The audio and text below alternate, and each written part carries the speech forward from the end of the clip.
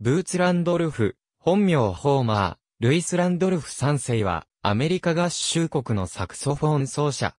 1963年に発表され、コメディアンのベニー・ヒルが、自らのショーのテーマ曲として用いたことで知られる曲、ヤケティサックスが代表作。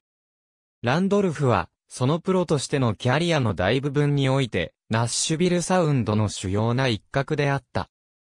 ランドルフは、ケンタッキー州パデューカに生まれ、同州カディスで育ち、インディアナ州、エバンスビルの高等学校に入学した。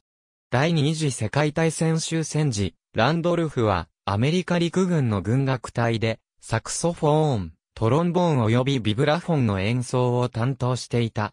軍役を終えた後、彼は1948年から1954年にかけて、イリノイ州、ディケーターで、バンド、ディンク・ウェルチズ・コピー・カッツと共に演奏活動を行った。彼は短期間ケンタッキー州、ルイビルに滞在した後ディケーターに戻り、自分のバンドを結成して活動した。その後1957年にディケーターを離れている。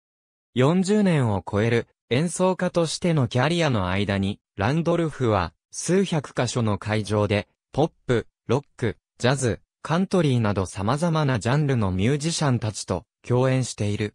彼は、エルビス・プレスリーのいくつかのアルバムで演奏しており、また、プレスリーの映画作品用のサウンドトラックの演奏も、行った。ランドルフは、テネシー州ナッシュビルのモニュメントレコードで収録を行い、ロイ・オービソンの1963年のヒット曲、ミーン・ウーマン・ブルーズで演奏している。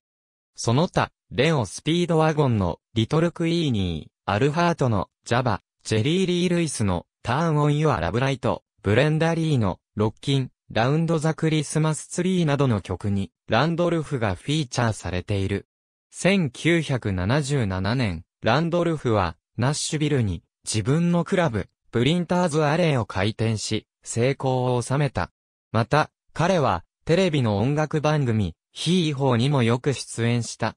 ランドルフは2007年7月3日に、脳出血のためナッシュビルの病院で80歳で死去した。彼の最後の作品となったソロスタジオアルバム、A ホールニューボールゲームは2007年6月12日にリリースされている。ありがとうございます。